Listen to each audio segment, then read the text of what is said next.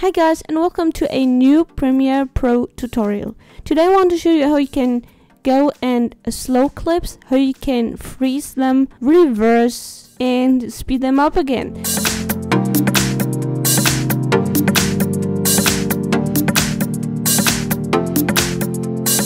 Okay, first you should do go and import your footage and create a scene. I already did and have a nice drone footage clip here. Now, the first thing is you need to find the point where you want to freeze it, where you want to slow it, and where you want to continue playing the normal speed. So let's do it.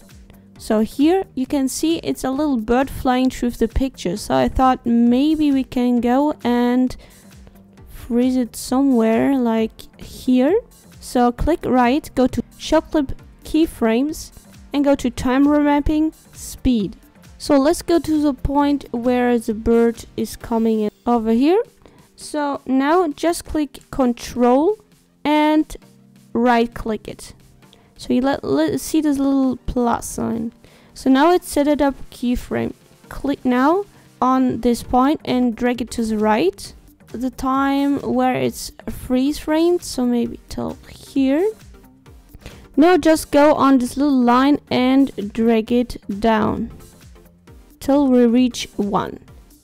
So now when we go over here, it slows down and now here starts 0. So maybe it's a bit too much, so let's go back. So let's see. Now we go and start to slow it down and now the bird is freezed, right? To make it looking even more awesome because the beginning is really slow already.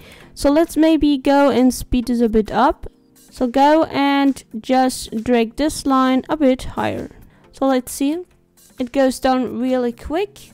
So it goes fast, the bird is flying and it stops.